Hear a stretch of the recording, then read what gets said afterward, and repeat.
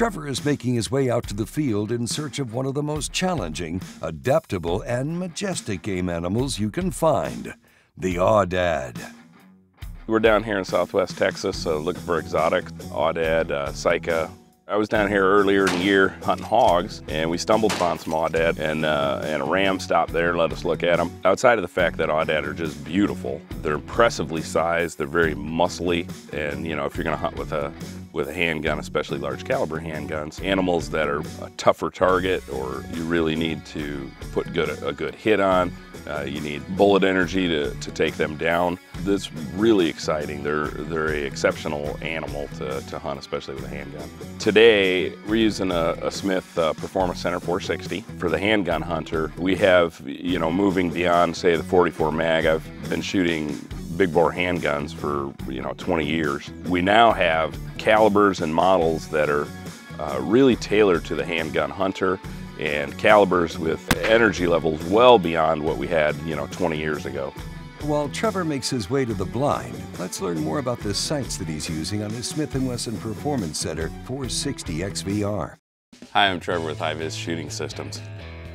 I have the Smith & Wesson Performance Center XVR here with a prototype rear sight uh, with interchangeable fiber optics. And I'd like to show you a little bit about how it works and how to change the fibers. The tool we use has a small fin right here molded into the side of the tool. And then we see a locking groove in the center of the light pipe and this machine feature right here which locks the light pipe. So what we want to do is insert this at a slight angle and the angle follows the line right here on the tool and push that fin into the locking groove in the fiber and then twist backwards. And as you put pressure and twist, you'll see the light pipe start to protrude out the back of the sight. Then you can use, or I use, this end of the tool just to push it out.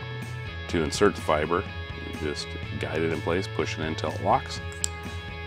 And that's how you change the fibers. The rear sight will come with green, red, and black fibers. Uh, and you can interchange and reuse them.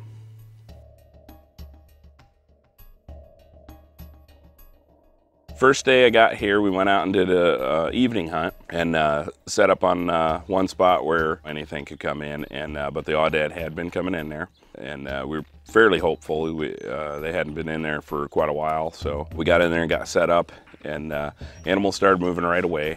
we had deer, turkey, then one aoudad appeared basically out of nowhere. You know, you glance to your you glance to your left, you come back, and and there they are. They just appear.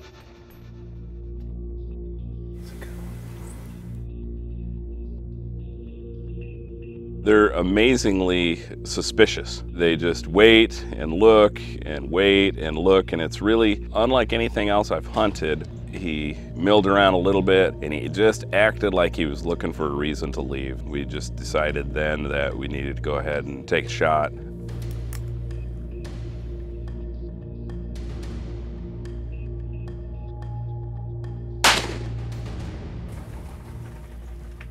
Did you get it? I got it. what do you think? That's awesome. That was awesome.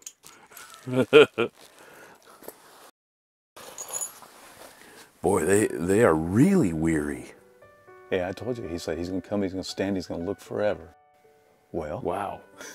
You're right. That was awesome. You put him down right where he was standing. That's pretty impressive for an aoudad.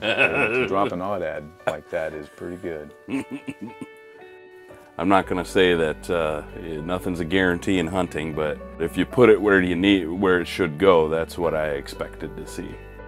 You know, he, he gave me a quarter and away shot, and um, Grizzly Ammo put the put the hammer on.